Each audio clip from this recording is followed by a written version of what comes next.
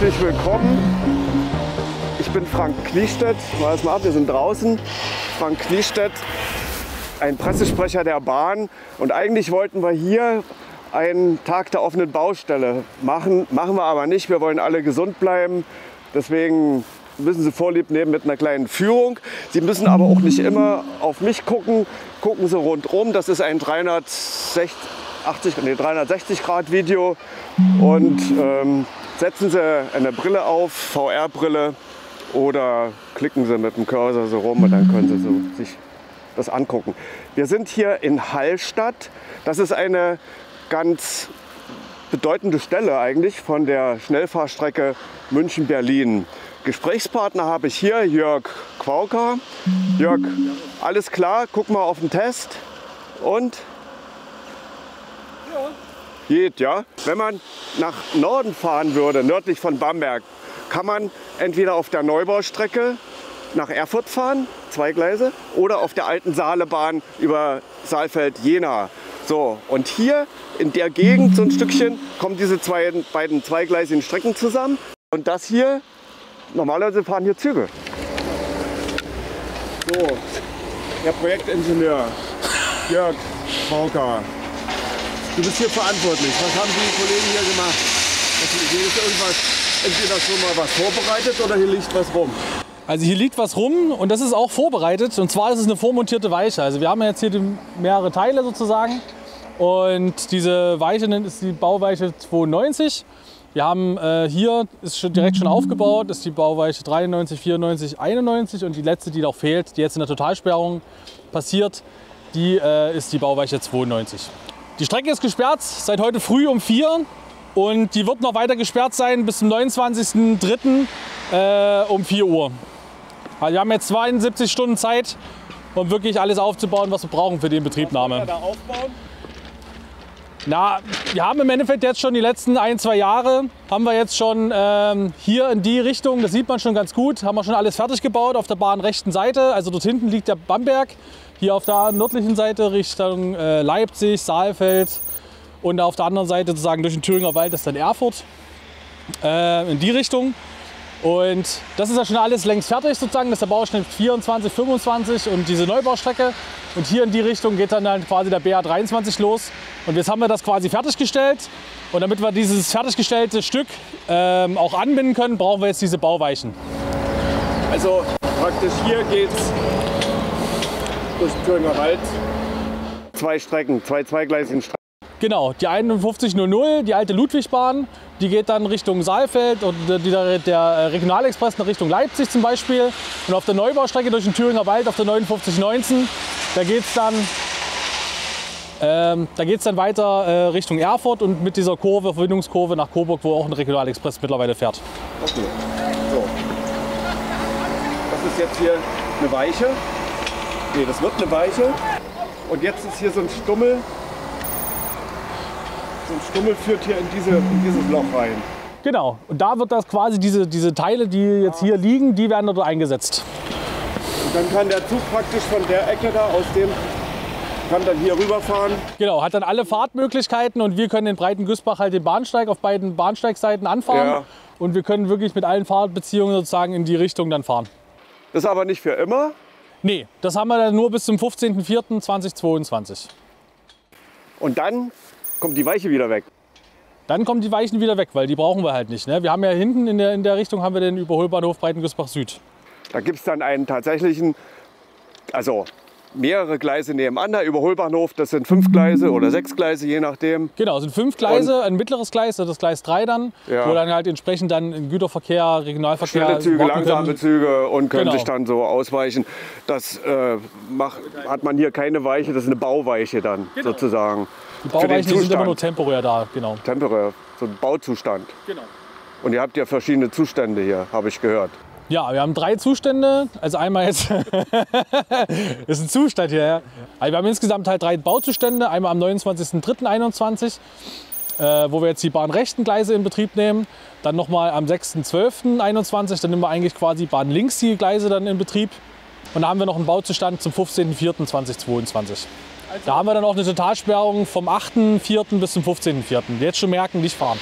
Also man muss immer das technologisch total im Griff haben, wann hier Züge fahren, wann die nicht fahren. Und wenn die nicht fahren, dann muss man also ganz viel machen und die neuen Gleise anschließen oder abklemmen oder ja, so. Man kann also, man muss sich das lange vorher überlegen, wa? Ja, also die Sperrpausen, die wir jetzt hier haben, die haben wir 2016 ähm, schon uns quasi schon im, im grob im Detail ähm, schon angeschaut und damals abgestimmt mit dem Fahrplan. Und äh, im Zuge unserer Ausschreibung haben wir es dann noch ein bisschen weiter konkretisiert und äh, haben dann natürlich noch ein paar Details geändert. Also ursprünglich war es jetzt im April geplant, jetzt ist es im März. Ähm, einfach um die Zeit ein bisschen bis zum März, äh, bis zum Dezember noch ein bisschen auszuweiten. Jetzt guck mal, was macht denn der da jetzt gerade? Was machen die Kollegen da nennen? Also der, ähm, das wurde gerade quasi, der Schotter wurde abgesaugt und äh, entsprechend hier auch nochmal aufgeschüttet, damit wir hier das Planum haben, ähm, das Schotterplanum, damit wir dann hier diese Weiche hier einfach aufbetten können. Also die brauchen ein Schotterbett, die Weiche. So ist es, ja. Die Weiche braucht ein Bett, ist klar. ja. Ja. Der Oberbau will es haben. Und fahren wird man dann hier, wenn das alles fertig ist, auf den Gleisen. Das sind ja neue Gleise. Wie schnell kann man dann da fahren? Na, jetzt zu unseren Bauzuständen bleiben wir erstmal bei 160 km/h und es ist geplant, bis zu 230 km/h hier zu fahren. Das ist ja doch erheblich dann, nicht? Von ein großer Sprung. Und das ist ja dann für München, Berlin. Richtig, und auch für den. Deutschlandtakt. Also wichtig ist ja irgendwie zwischen Erfurt und äh, Nürnberg, dass wir das ähm, hinkriegen in einer Stunde. Also ja, wichtige Stelle. Ja. Wir haben ja diese viergleisige Strecke, die geht ja bis Nürnberg. Ungefähr die Hälfte ist geschafft von dem. Und das ist hier wie so ein Kernpunkt. Wa? Bamberg muss man da machen, an anderen Stellen ist, es sind auch Baustellen heute. Wa? Also ganz schön viele sogar. Ja? Wenn die Strecke gesperrt ist, in Vorheim, in Fürth, ist überall Wir versuchen natürlich auch alle unsere Kollegen dann immer, wenn entsprechend der Zugverkehr eingestellt ist, dass wir dann auch all- alle Baustellen dann entsprechend bedienen. Und interessanter Busverkehr mit Schnellbus, mit äh, extra kleiner Bus, der überall fährt und so. Also schon ganz bewährtes Konzept hier. Gut, okay, haben wir das, ja? Gehen wir mal. Ich habe da hinten so ein paar Käfige entdeckt. Wisst ihr, was ich meine? Ja. Doch, ja? Gut, okay.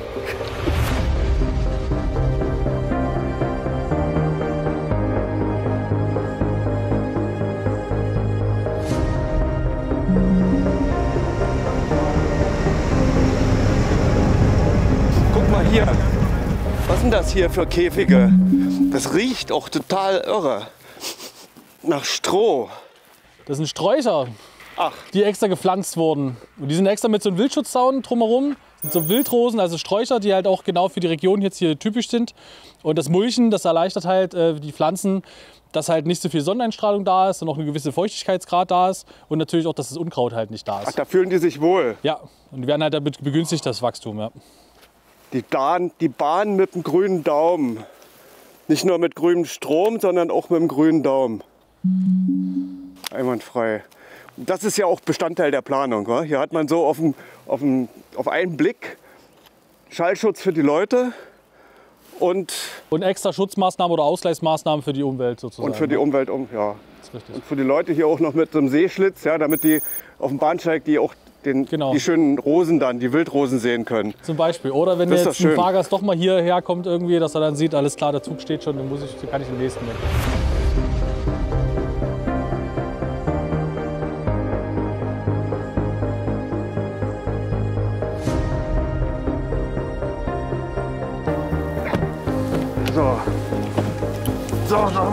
In den Matsch reingelatscht und jetzt kommen wir wieder raus. Achso, warte mal, mit Tür. So, äh, Situation. Jetzt um den Bauer Lindemann. Los! Los, guck mal mit, mit Anwohnenden hier. Oh, Leute. Hut auf, Maske ab. Das sind unsere Eidechsenhabitate. Die sind dafür da, damit wir die Eidechsen, die jetzt hier auf dem Bereich waren, dass die halt quasi wurden vergrämt und weil die natürlich schutzbedürftig sind, wurden sie quasi in ein entsprechendes Habitat hinein vergrämt. Ja, also besteht also aus, aus äh, Erdhügel, Stein und äh, Totholz und muss halt entsprechend halt ähm, aufgebaut werden und dann zur richtigen Jahreszeit, also meistens halt immer, wenn es ein bisschen wärmer ist, ähm, müssen die Eidechsen vergrämt werden, sodass sie sich auch wirklich bewegen. Und hier, damit sie nicht abhauen können, wa? Oder Genau, das damit sie auch schön geleitet werden, wa? Richtig. So. Ja. Und wenn dann nur in die Richtung. Habt ihr eine ganze Menge hier, habe ich gesehen, an dem. Ja. An dem. Also eigentlich das gesamte Gebiet hier, das ist ja auch alles ähm, äh, Flusslandschaft Bamberg. Ja. Ähm, und hier leben halt enorm viele Eidechsen und die müssen halt wirklich alle geschützt werden. Und die werden von einem Umweltingenieur speziell, wa? Da gibt es spezielle Fachkraft dazu. Richtig. Also es gibt halt insgesamt halt für, ähm, für die Umwelt gibt es natürlich immer eigene äh, Umweltingenieure und entsprechende Planungen und eigene Büros, die das äh, organisieren und natürlich auch entsprechendes Know-how Know haben. Das ist fast gleich wichtig, war mit dem, wie mit dem technischen, dass das klappt. Ja. Weil das kann ja schon mal eine Baustelle auch durcheinander bringen, wa? Definitiv, So. ja. Und es muss halt immer im Vorhinein muss immer mit Sachen Umwelt was getan werden, also wie zum Beispiel Rodung und so weiter. Und dann auch gerade im Nachgang, wenn man dann halt noch mal ein bisschen Landschaftspflege betreibt und dann entsprechende Ansaaten macht und so weiter, das muss man halt auch immer mitmachen.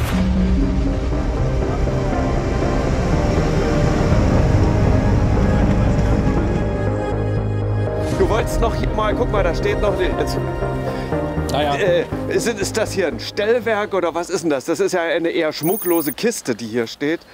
ja, die schmucklosen Komm, Kisten. da gehen wir mal hin. Ja. Und hier vor uns, das sieht man jetzt hier, Bahnhof Breitengüßbach Süd, elektrische Weichenheizstation äh, W2. Und die versorgt sozusagen äh, mit den Trafos den Strom für die Weichenheizung, also beziehungsweise für die Weichen, damit die halt im Winter nicht einfrieren. Wir können auch mal hier hoch, wenn ihr wollt. Wir können ja, es fährt ja kein Zug weiter. Guck mal, Ja. hier sind verschiedene Sachen noch, die an, uns anzeigen, dass kein Zug fährt. Und auch, dass kein Strom oben drauf ist. Richtig. Also Ja. es ist erst ab dem, äh, am 28. um, ich glaube, um 4 Uhr ist, äh, wird der Strom eingeschaltet. Aber wird natürlich trotzdem immer zur Sicherheit wird dann trotzdem noch mal geerdet, weil können immer irgendwelche kleine Restströme und so weiter durch Potenzialausgleich und so weiter äh, können da immer irgendwie entstehen. Deswegen erdet man einfach trotzdem die Arbeitsstelle immer, immer doppelt. Das sind ja die zwei Erden hier. Du kannst Also es ja nochmal mal, doppelt gesichert. kannst es ja mal beweisen, kannst du mal anfassen. Und jetzt werde ich geschlagen. Hier. Gut, okay, gut. Ja. Der Ingenieur hat recht. So, naja.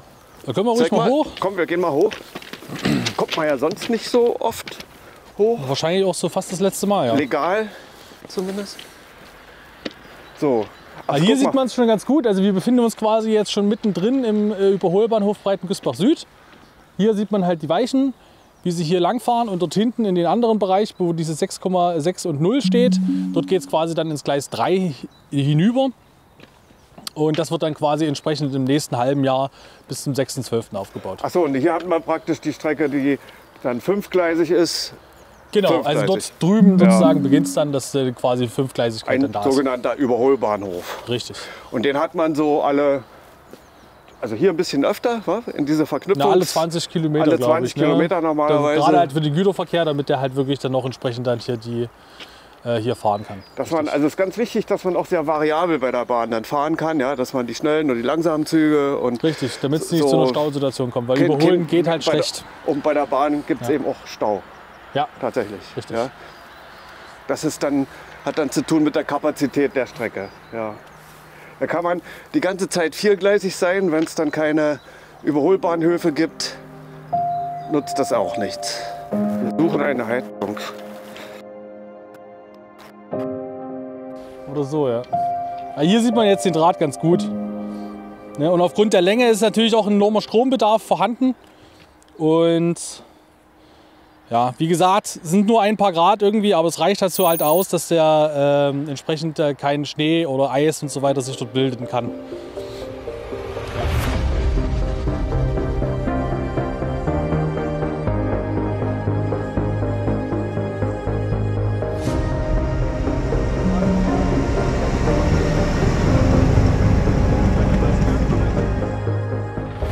Ach, hallo, Hallo, Herr Lauterbach.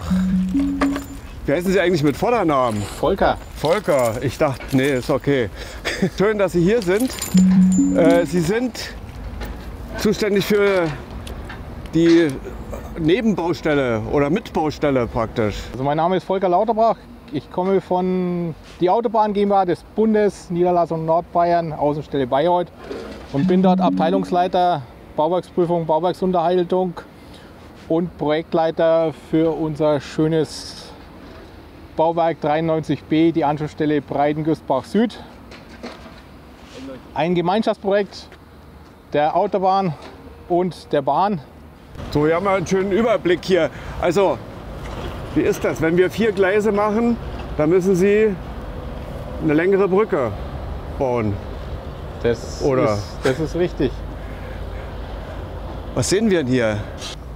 Sieht Wir hatten hier zwei, zwei Brücken stehen, eine aus dem Jahre 1966 und eine aus dem Jahre 1986.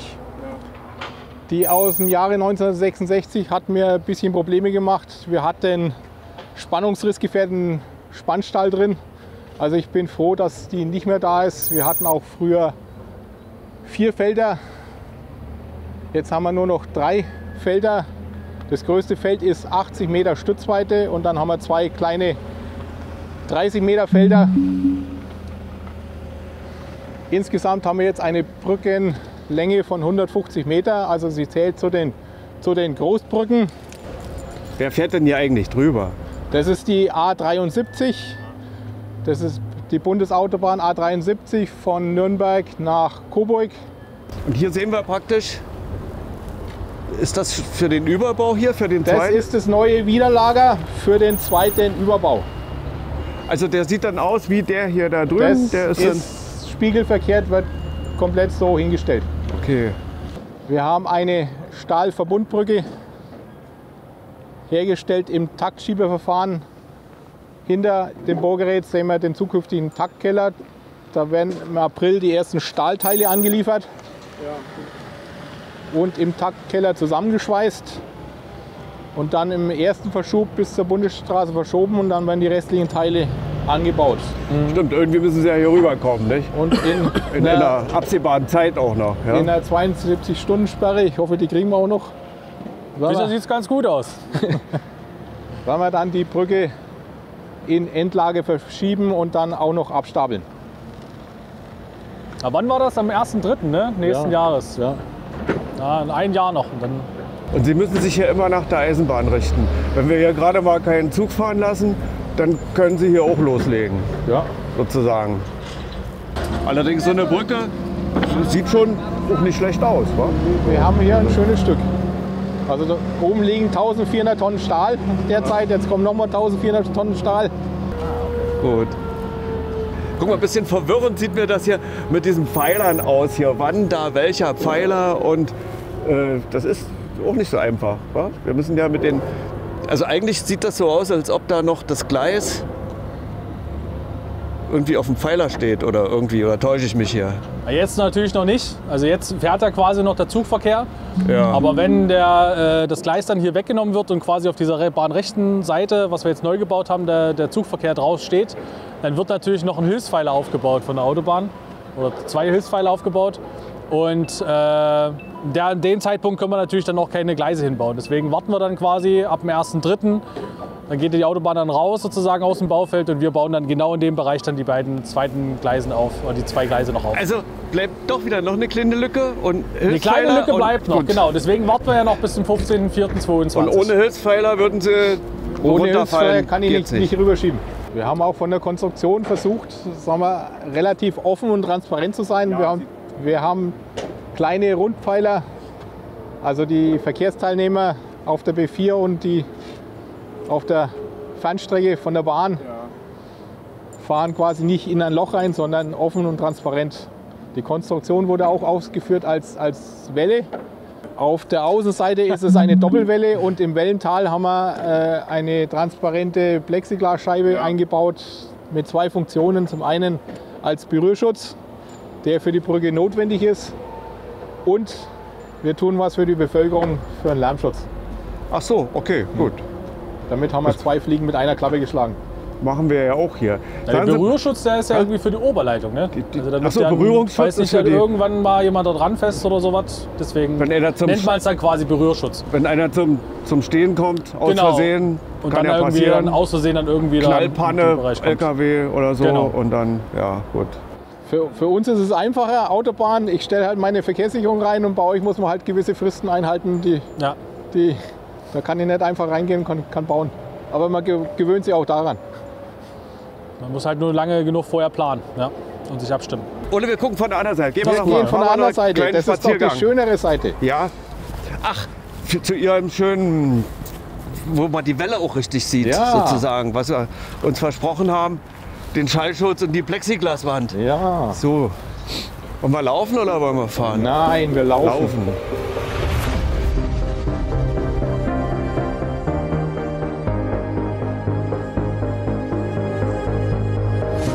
Also von hier sieht die, ach so, das ist ja, da wäre dann die Innenansicht gewesen. Da sieht sie, was? Das ist die so, Innen- was wir vorhin gesehen haben. Das kommt spiegelverkehrt Ja. nochmal auf die andere Ja. Seite. Schade, dass man es von der Bahn dann aus nicht so sieht, wa? Aber Also wenn man Zugteilnehmer, der, der, der, der sieht das schon, denke Ja. Oder wenn wir wieder mal Panorama-Expresswagen haben. Wie in der Schweiz. Aber sag mal, guck mal, hier gibt es ja so eine riesen Rohre hier. Nicht? Also Wasser ist ja hier durchaus ein Thema. Also, dass man hier auch unter den, dass die Bahn stabil ist, dass die Fundamente stabil sind, Ja, ist ja, das ist richtig.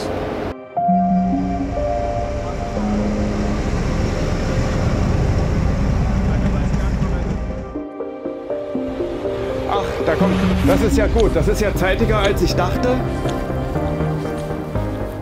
Sie sind der Herr Hubert Gräupel, das weiß ich, von der Baufirma. Steht ja? noch mal auf meinem Und Schirm. Christian Wittig, ein weiterer verantwortlicher Projektingenieur von der DB Netz AG. Äh, was haben Sie denn, woher kommen Sie denn? Ich habe gehört, Sie hatten Mängelkonferenz noch und so. Oh nee, na, nicht, das ist ja nicht zum Lachen. Ne? Die, hieß, die heißt anders, die Die Überschrift. heißt ne? natürlich anders. Wir haben natürlich noch die letzten Punkte besprochen vor der großen Inbetriebnahme, Ja. was wir noch gemeinsam lösen müssen. Und wie man sieht, wir waren schnell gewesen. Das Ja, heißt, das hat ja nicht lange gedauert. ja, ja, natürlich. Gut, Wenn okay. gut Nehmen- vorbereitet ist, dann Genau. geht es dann auch Hand in Hand. So, guck mal, gehen wir mal ein Stückchen hier noch, dass wir nicht über, die, über den Berührungsschutz gucken müssen. So, Herr Gräubel, ich war schon vor ein paar Jahren, wann haben wir hier angefangen, weiß ich gar nicht. 2015 2015. ging das 16 dann mit den Baumaßnahmen los. Ja, ja. So richtig. Was, was sehen wir denn jetzt hier gleismäßig überhaupt? Gleismäßig sehen wir den? Abschnitt, Sie, ja, äh, der jetzt neu äh, viergleisig ausgebaut wird. Äh, der Abschnitt zwischen Hallstatt und Breitengüßbach. Von Breitengüßbach Richtung Norden ist ja alles schon schön und fix Ja. und fertig. Und hier jetzt der Zustand, wir haben im Osten der ursprünglichen Gleise die zwei neuen Betriebsgleise aufgebaut. Sieht man auch optisch.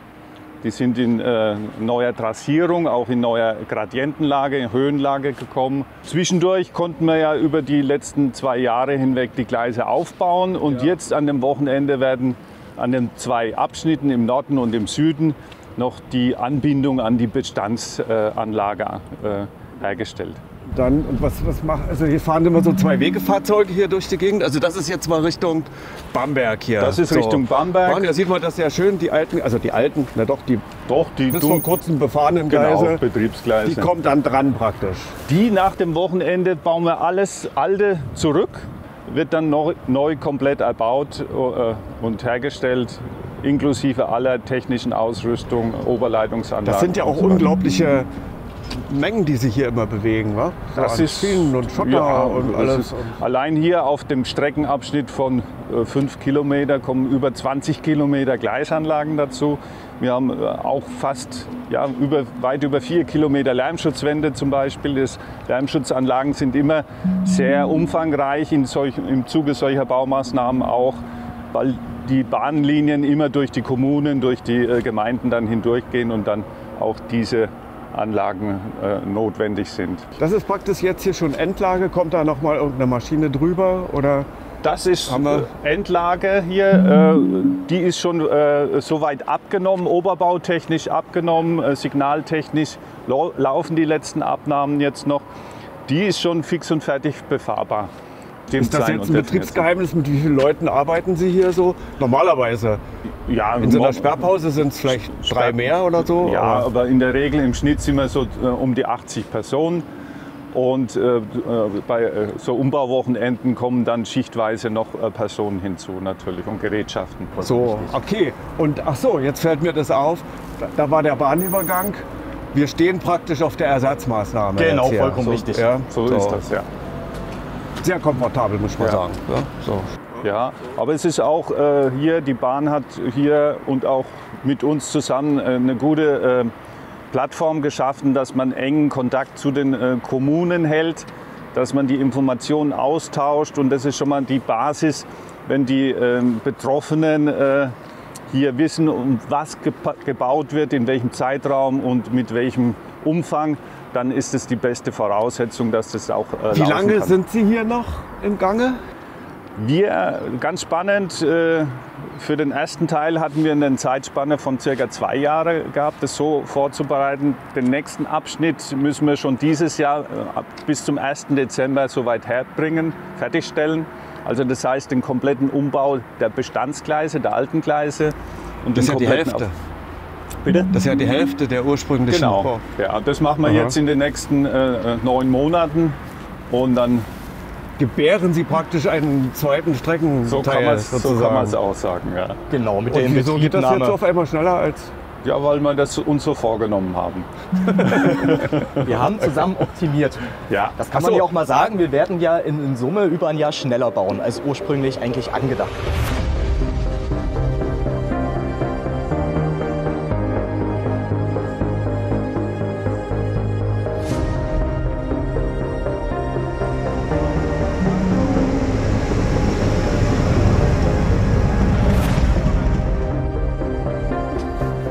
Da ist der Perfekt, Herr Tschuch ist da. Herr Tschuch. Herr Tschuch ist der das Chef. ist der Herr Tschuch.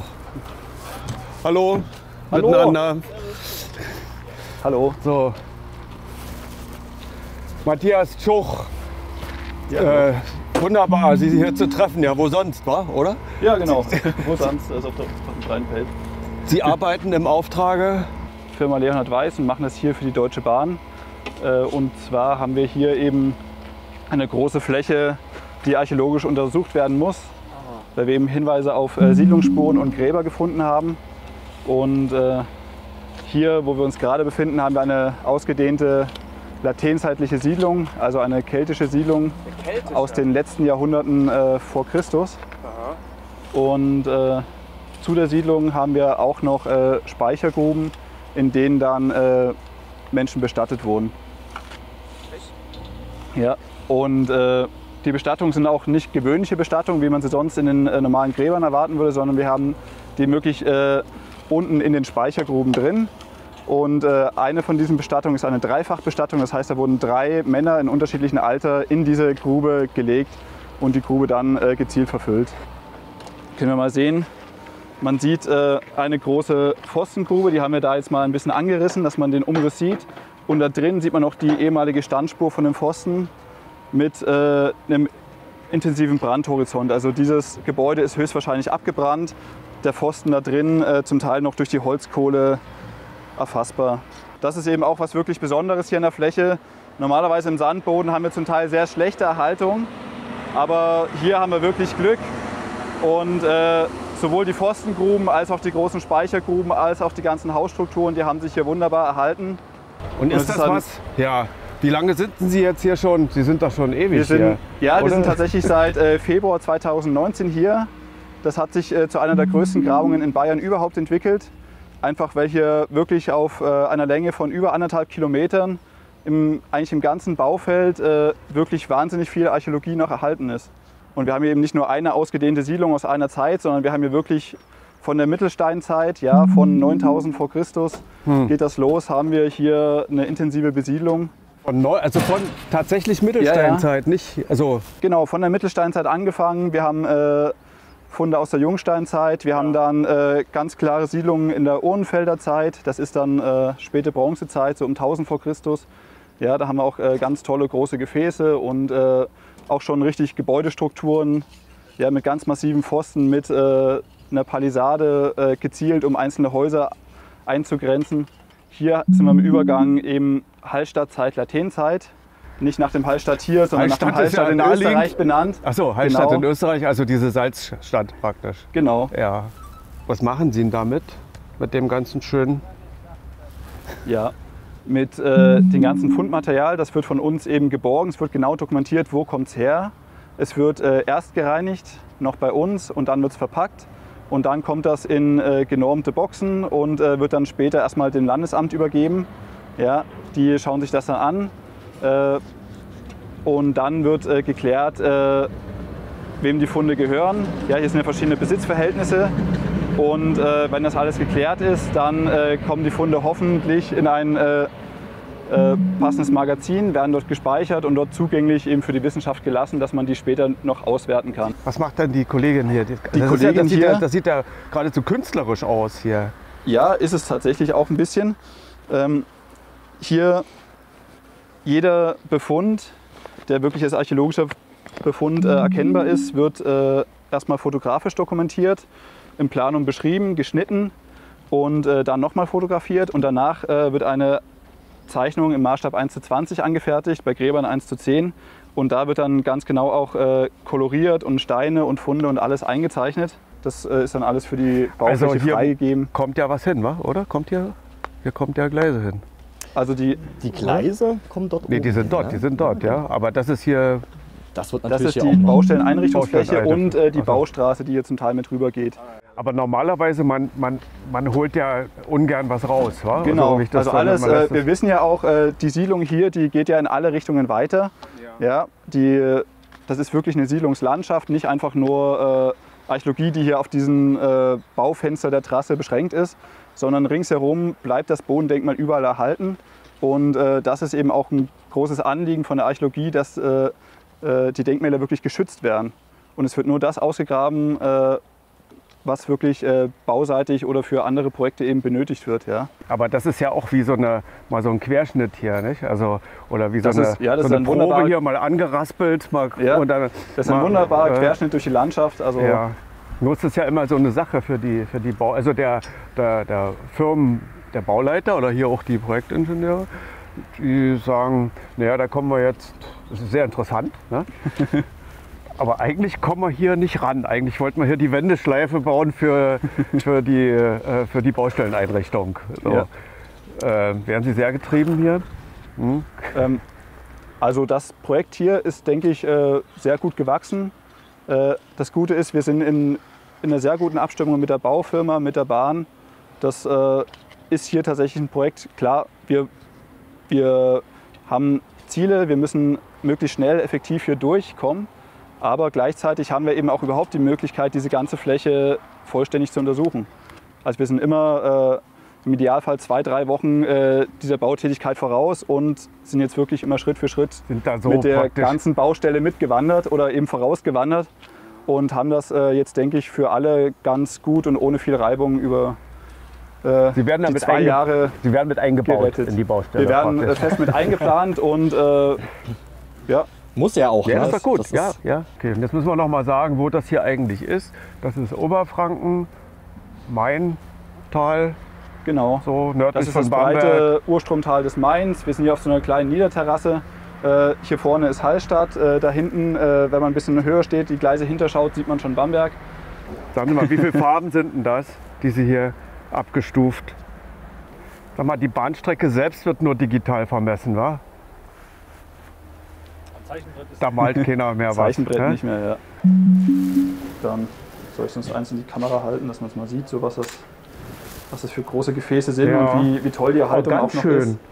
Ja, Und was ist das für eine? Achso, das gibt doch immer bestimmte Namen für diese genau, das ist, das ist eine Fingertupfenleiste, Aha. also eine plastische Fingertupfenleiste und äh, was wir hier haben, das ist mal, Warte mal, damit wir, das steht ja, hier ist ja die Beschriftung praktisch drauf, genau, was es ist. Das ist also, die Fotos werden immer mit Fototafel gemacht, dass eben auch, falls die Dokumentation dann verloren Ja, ja. geht und nur noch die Bilder da sind, das immer noch eindeutig zugeordnet werden kann. Das sind alles Erfahrungen eben auch aus den ganzen Verlusten aus dem Zweiten Weltkrieg, Aha. wo dann zum Teil Bilder hat, äh, wo man nur noch der, der wirklich da war, weiß, was das überhaupt ist.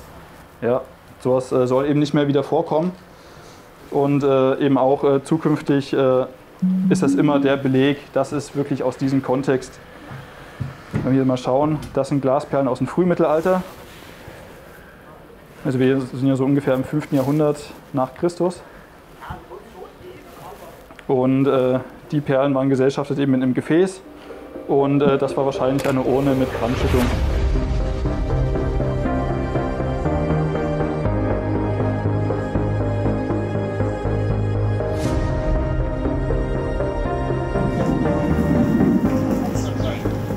Irgendwo müssen wir doch jetzt hier mal wieder gefilmt werden. Hier. Das ist doch 360 Grad. Ja. So, hier werden wir gefilmt. Oh, ist das, ist das gemütlich. Sicherheitsbereich, Vorsicht bitte hier hinten. Achso, Aber es waren ja noch keine Züge. Achso, oder jetzt nicht Jetzt zur Zeit. nicht. Ja? So, meine Herren Ingenieure, Christian, Jörg, wo sind wir denn jetzt gelandet hier? So weich hatten wir es noch nie wie hier. Ja, schön, ist schön geworden. Wir sind jetzt in Hallstatt, im Haltepunkt Hallstatt und stehen jetzt auf dem neuen Behelfsbahnsteig. Ein neuer Behelfsbahnsteig. Ein neuer Behelfsbahnsteig, Das klingt richtig. auch gut, Das ja. klingt gut. Aber wie man sieht, ist er sehr schön geworden. Ja, also das muss man ja wirklich mal betonen. Warum macht denn ihr einen Behelfsbahnsteig? Ja, also wir haben ja, wie wir es vielleicht vorhin schon mal gesagt haben, wollen wir jetzt erstmal diese Seite, die sogenannte bahnrechte Seite aufbauen. Und damit trotzdem die Leute äh, in die Züge reinkommen, ist war es halt notwendig, dass wir einen sogenannten Behelfsbahnsteig aufbauen. Und die andere Seite hier, die wird dann halbseitig auch geöffnet sein. Und entsprechend werden dann quasi über den Mittelbahnsteig auf der einen Seite und hier über den Behelfsbahnsteig der Verkehr abgewickelt. Das ist wieder das, egal was man macht, es muss zwischendurch nach den drei Tagen wieder genauso fahren, wie es, ja, damit die Genau. Eisenbahn ist ja für die Leute da, damit die hin und her fahren können. Genau.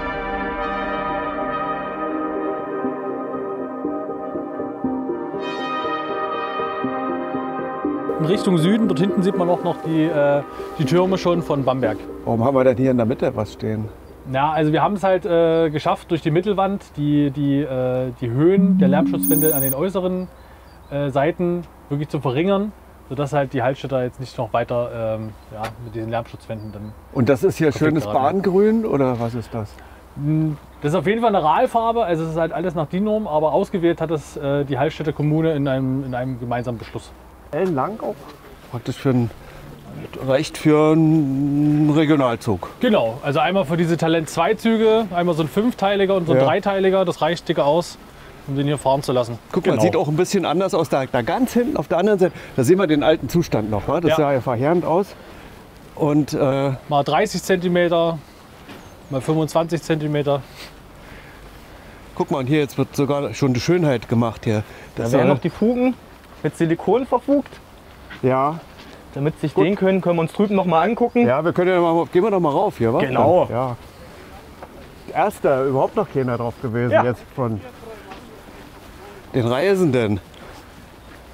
So, und hat auch die richtige Höhe. wa? 55 cm. Passt perfekt zusammen.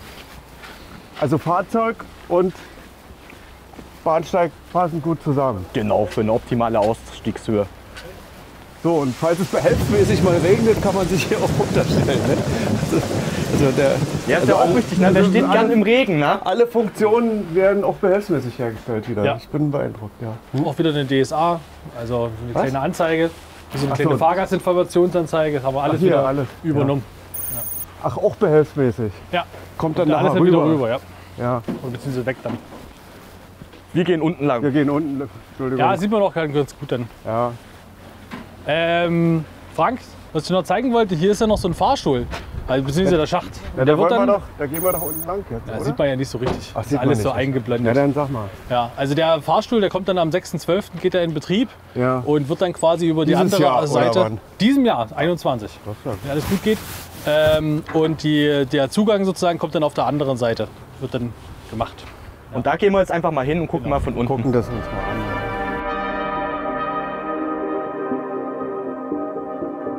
Die haben noch einen Schaltkasten umgesetzt.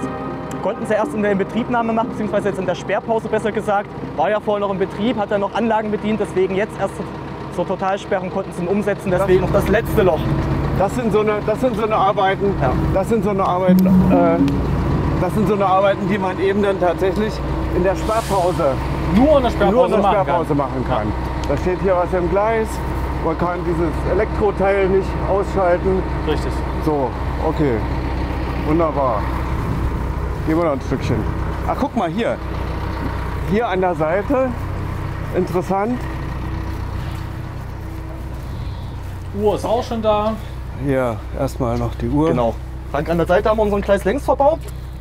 Muss man machen, weil wir natürlich auch Platz brauchten, erstmal überhaupt die, die, die Fundamente für den Bahnsteig zu gründen. Hier war ja noch Betrieb bis heute früh um drei drauf gewesen. Und damit das Gleis einfach sicher ist, muss man entsprechend den Gleislängsverbau auf einer relativ langen Länge, wie man auch sieht, einbringen, um die Das Wort Stabilität. erschließt sich von selbst Gleislängsverbau. Genau, jetzt sieht man es auch mal schön, warum. Längs Ja, bauen, also verbauen. Genau. So. Also eigentlich wird das, das Gleis hier stabilisiert, dass es nicht reinrutscht. Hier. genau, vollkommen richtig. So. Das ist die Funktion. Und das ist ja eine ganz schöne Rammerei, wenn ich das hier so sehe Ja. als Ergebnis. Eines ganz schön nach, nachts oder Tage. Wann habt ihr das? Tage. Hauptsächlich natürlich Tage. Probieren wir immer, um die Einschränkung Lautstärke natürlich zu minimieren. Trotzdem, ja. Aber an vereinzelten Nächten natürlich auch manchmal erforderlich. Da, da haben dann die Anwohnerinnen und Anwohner ganz schön was davon. Ne? Ja, Lässt sich manchmal nicht vermeiden, also Leider. oft nicht. ja, das ist Bauen unter Betrieb natürlich immer leider nicht immer ganz unmöglich, dort auch Einschränkungen für die Bewohner zu minimieren. Aber wir informieren relativ. Also Einmal im Monat, zeit- einmal im Monat. Vor. Ja, ja. Veröffentlichen immer, was wir machen in Hallstatt, damit die Bewohner auch einfach wissen, wann sie mit einer Belästigung zu rechnen haben. ja. Was ist das? Eingeschränkten Personenbank praktisch. Genau, genau, vollkommen richtig. Das kann ich auch noch nicht. Mhm. Und was muss man dann machen? Dann muss man Du hast ja diesen taktilen Leit äh, Stock so, den Stock sozusagen. habe ich, ja. Und der, den wedelst du ja quasi in den So, ach Grazahlen. so, Damit du da also nicht dagegen läufst in irgendeiner Weise, wird das quasi hier Achso, ich komme jetzt von, aus, aus diesem Streifen raus hier. Genau, ja genau. So. Und dann komme ich hier so. Und dann macht das jetzt nicht mein Arm, sondern der Stock. Genau, Und dann, das, und dann kann man, hat man eine Orientierung, wo die Kante ist. richtig. Die Sitzkante. Sehr schön. Mittagspause. Um Oh. 12. Hier vielleicht noch mal ganz kurz, weil wir das jetzt gerade an der Bank noch mal hatten. Hier ist das Gegenstück. Oder hier kommt noch das Gegenstück hin. Ja, Das ist ein Aufmerksamkeitsfeld. Einfach für die Menschen, die dann wissen, okay, hier könnte ich abbiegen, weil es ja eine andere Straffur hat, eine andere Noppung. Dass gegebenenfalls sich auch die Menschen mit einer Behinderung auf eine Bank sitzen können. Ja.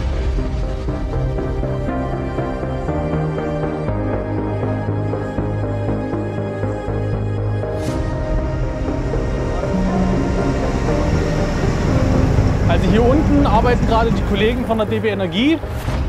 Das war noch so ein kleines Mini-Nebenprojekt. Und zwar ist es ja auch wichtig, dass die Kollegen in München auch entsprechend äh, die Schaltgruppen und die Schalter äh, bedienen können. Und das müssen die halt dann quasi mit einer Fernsteuerung machen, mit der sogenannten Fernwirktechnik. Und das bauen die gerade um. Also ursprünglich war es ähm, beim Haltepunkt Hallstatt im Betonschalthaus. Ja. Das ging nicht mehr, weil das halt als Baustraße dann fungiert. Und deswegen wurde es jetzt hier mit rein integriert. Ja, aha. So, aber wir befinden wir- uns jetzt gerade auf der sogenannten SÜ oder Straßenüberführung Ja. Fuß- und Radweg. Die wurde in den 90ern, also 94 wurde die erbaut. Und aufgrund dieser Schrägstützenkonstruktion und dieser neuen Anforderungen ähm, muss die halt irgendwann neu, neu gebaut werden. Und das hier auch. passiert, richtig. Und das passiert voraussichtlich ab 25. Das hier, was wir hier sehen, diese Holzkonstruktion, das ist nochmal zusätzlicher Berührungsschutz, Ja, einfach für die Oberleitung. Jetzt befinden wir auf, uns auf dem Kilometer 2,8, 2,7. und hier ist Bau. Nee, Bauende immer noch nicht. Noch nicht ganz. Jetzt noch 400 Meter in die südliche Ja. Richtung, Richtung Bamberg und dann sind wir beim Ende. Und die Autobahnbrücke?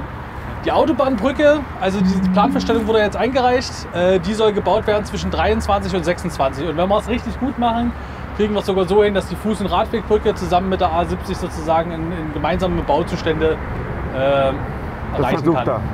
Ja, also 2025 wäre natürlich super, wenn wir da äh, zusammen das einfach abreißen könnten. Das Problem sind halt hier wirklich die Platzverhältnisse. Ne? Also die Wohnbebauung, dazu halt hier die Brücke. Auf der anderen Seite hat man kaum Platz, da sind halt auch äh, Industriebetriebe. Deswegen, das wird eine, ein relativ spa spannendes Unterfangen. Aber wie gesagt, das passiert alles jetzt nicht jetzt im Zuge von BA23, sondern erst dann ab 2023 fortfolgend weiter. Bis dort hinten, Kilometer 3 ungefähr, kommen wir viergleisig. Und danach geht es quasi in den Bauzustand, der dann irgendwann durch Bamberg aufgelöst werden muss. Und dort wird das dann quasi, das eine Gleis, was jetzt äh, hier so liegt, dort wird das quasi weitergefädelt und wird genau so hier nur ein Gleis dann quasi hier durchgeführt durch die A70. Weil erst wenn die A70 neu gebaut ist, dürfen kommen wir die- erst wieder Ja, okay. die neuen vier Gleise bauen. Gut, also wir haben die Viergleisigkeit bis hierher, nächstes Jahr April, Richtig. praktisch in einem Jahr. So man es auch So, und dann im Prinzip beginnt ja dann der nächste Bauabschnitt. quasi So, Bamberg, ja. wir machen auch schon ein Stückchen dreigleisig weiter. Richtig. Also es kommen ständig Verbesserungen dazu.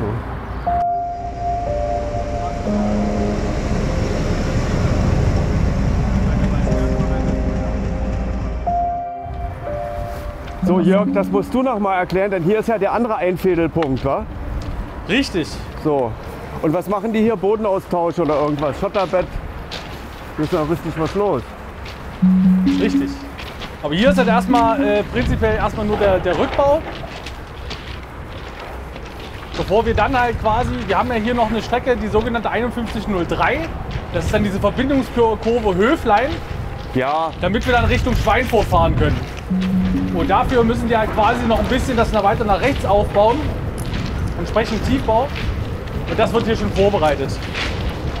so wie ich das jetzt richtig verstanden habe, ist hier die, die Einfädelstelle wieder, wo aus den Aus wo, wo demnächst ab Montag aus dem Altbestand auf die neuen Gleise eingefädelt wird. Richtig. Verschwenkt wird. Eingefädelt, verschwenkt. Auf jeden Fall kann halt In gefahren werden. Breitenwüßbach war es Verschwenken. Und was ist es hier? Na, da hatten wir aber zwei Gleise auf zwei Gleise. Hier versuchen wir ja quasi aus den zwei Gleisen, die dann hier angebunden werden. Hier wird dann erstmal ein Gleis gemacht und danach gibt es ja quasi aus, auf der Höhe hier ungefähr, wo jetzt halt quasi noch die Lücke ist, kommt dann noch eine zweite Weiche hin, damit wir dann auf die 5103 hin. Also so richtige Einschwenkung ist es nicht, das ist eher so eine Anbindung in meinen Augen. Weil bei den Bauweichen ist es wirklich so ein einmal nach links verschieben. Aber das ist schon hier so, dass der Unterboden rausgenommen wird und hier was. Ja klar, natürlich. Also- wir bauen ja hier ein neues Gleis hin und entsprechend muss es natürlich dann noch äh, ja, bereitgestellt werden und Aber das halt geht immer je nach Bodenbeschaffenheit. Äh, damit das lange hält, muss Genau. man eventuell auch mal noch mit Zement ver verbessern oder so. Richtig, also das ist die sogenannte bindemittelstabilisierte Tragschicht. Die wurde hier auch mit angewendet. Ja, Einfach für die bessere Festigkeit. Auf der anderen Seite haben wir dann wiederum äh, bei den Schwellen haben wir ähm, Schwellen eingesetzt, die ähm, eine extra eine Schicht haben, die das ein bisschen abfedern kann. Eine Sohle. besohlte, Ja, besohlte Schwellen Schwelle. heißen die doch. Genau. Oder? So, wer- hier werden die Schienen befestigt. Man sieht das dann hier im eingebauten Zustand auch. Das sind so Federklemmen. W-Oberbau hieß das mal früher. Genau. So, ja. so. Und hier sind so eine elastischen Unterlagplatten, Genau. damit das, hier guck mal, so, so. Und die müssen mit einem bestimmten Drehmoment dann noch angezogen werden. Ja. Es muss auch nachgewiesen werden.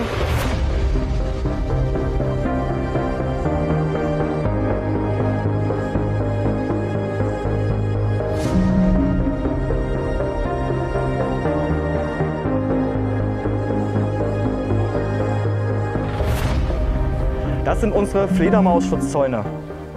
Am Bösengraben, vordere Reihe 4 Meter hoch, hintere Reihe 5 Meter. Haben eine Funktion, wie der Name schon sagt, Fledermaus-Schutzzaun. Schutz die Fledermaus, die hinten aus dem Wald rauskommt, nicht über die Strecke zu fliegen, um natürlich nicht gegen den Flug zu fahren und dadurch getötet zu werden. Das heißt, sie werden gezwungen, unten drunter durch den Bösengraben zu fliegen. Guck mal. Ach so, was, das sind zwei Löcher hier. Das sind zwei Löcher, das ist ein Doppeldurchlass am Bösengraben DN 1200. Und dadurch, dass wir oben die Schutzzäune haben, werden die Fledermäuse in ihrer Flugbahn gedrückt und müssen durch den Durchlass durchfliegen zum Schutz. Und das machen die. Und durch die Maschenweite wird der Schall der Fledermäuse durch zur Orientierung gebrochen und wissen, okay, wir haben ein Hindernis vor uns, deswegen müssen wir absenken und unten drunter durchfliegen. Ist ja geradezu raffiniert, wa? Raffinierte Technik, gerade weil in dem Einflugsgebiet wurde festgestellt, gibt es ein erhöhtes Aufkommen. Wir haben es vorne nochmal am Leitenbach, dasselbe Produkt. Kommt auch logischerweise oder konsequenterweise noch auf die andere Seite. Aber hast schon recht gehabt, im Endeffekt wie eine Lärmschutzwand, auch von der Konstruktion her. Bloß die Ausfahrung ist eine andere gewählt worden. Die Funktion dazwischen ist eine andere. Genau. Und Wir müssen ja nicht nur die Menschen schützen, sondern ja auch die Natur, ob es die Zaunerdechse ist oder die Fledermaus. Wir hinterlassen Spuren. Ja, man sieht es im wahrsten des Wortes. Nicht nur auf der Strecke, auch neben der Strecke. wir waren auf einer, auf einer kleinen, doch auf einer großen Baustelle zwischen München und Berlin, hier nördlich von Bamberg. Vielen Dank, viel Erfolg. So sieht es woanders auch aus, aber hier ist es, denke ich mal, ganz speziell. So, danke und viel Spaß. Auch allen Zuseherinnen und Zusehern bei diesem Tag der offenen Baustellentür. Äh, ja, wir sind gespannt, nee, wir sind gewiss, dass ihr in Betrieb geht. Wa? So, Selbstverständlich. Frank, dir auch danke. bis demnächst.